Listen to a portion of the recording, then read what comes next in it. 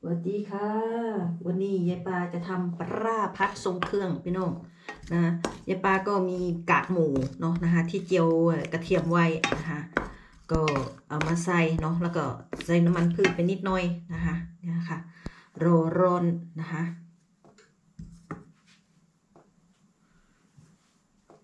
ยายปาก็ทำไอ้เจียวบองเนาะนะคะหรือปลาร้าซับนะคะเอามาจากเมืองไทย เนาะนะคะยายปาก็จะใส่กระปุกเล็กๆมาอย่างเงี้ยนะคะส่งก็เอ่อเอามาใส่ใส่มาเนาะนะคะทำมาเรียบร้อยแล้วจากเมืองไทยนะคะปลาร้าทรงเครื่องเนาะนะคะยายปาก็จะเอาใส่อ่าในกระทะเลยนะคะก็คือเรามีปลาเรียบร้อยแล้วเนาะนะคะหรือใครซื้อปลาเนาะนะคะ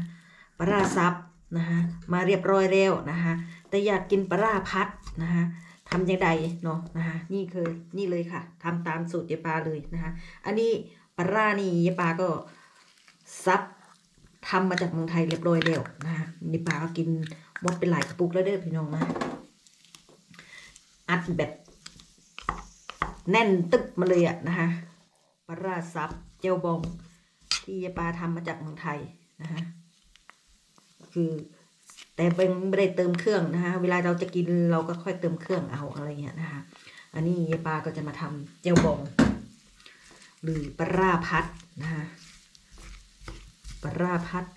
คนเหนือเหนือนะคะคนเหนือเนาะนะคะแต่บรู้ว่าคนเหนือบางคนเขาก็ไม่ได้ทำกินแบบยายปาเด้อพี่น้องยายปาก็ทำทำตามสูตรของยายปาที่ปู่ย่าตายายพาทำอะนะฮะยายปาทำไว้เนาะพี่น้อง จะทำไว้นะคะเพราะว่ายายปาเออจะไปทำงานแล้วเนาะนะคะก็เลยต้องทำ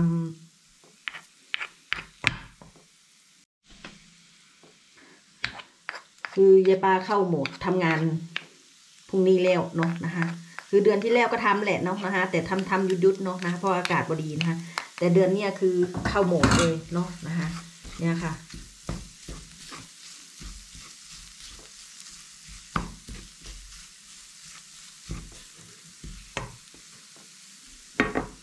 คือเราก็เพิ่มเติมด้วยไข่ไก่นะคะใครใครชอบส่งใบก็ใส่ส่งใบนะคะยายปาก็จะใส่แค่ใบเดียวนะคะยายปาจะทำไว้นะคะ เวลาแบบเออเลิกงานมาหรือก่อนไปทำงานเนาะนะคะก็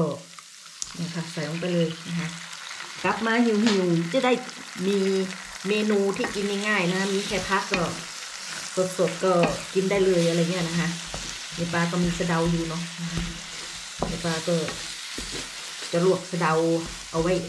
ไว้กินก็นี่แหละค่ะปลาร่าพัดนี่แหละเนาะพี่น้องความเข้มข้นอยู่ตรงไข่ไก่นะคะพี่น้องเมนูนี้นะคะ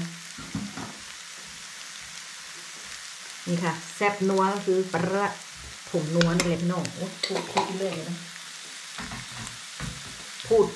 พวกใครอยู่ล่องอยู่ลอยเลยพี่น้องเป็นอย่างนี้นะ พูดผิดพูดถูกเรื่อยเลยเมนูแม่บ้านตังแดนพี่น้องนะคะของแม่บ้านแม่บ้านที่อยู่ต่างแดนเนาะพี่น้องทำกินง่ายๆนะคะเนี่ยนะคะ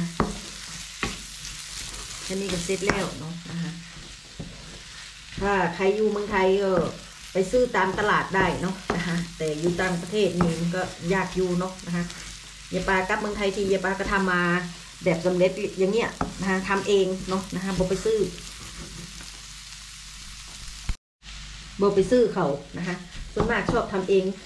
ตามใจฉันอะไรประมาณเนี้ยพี่น้องนะคะยายปาก็จะประมาณนี้นะคะทำอะไรส่วนมากจะทำตามใจตัวเองนะคะตามใจปากตัวเอง ตามใจที่ตัวเองรสชาติตัวเองนะ,ะนี่ก็เสร็จเรียบร้อยแล้วนะะ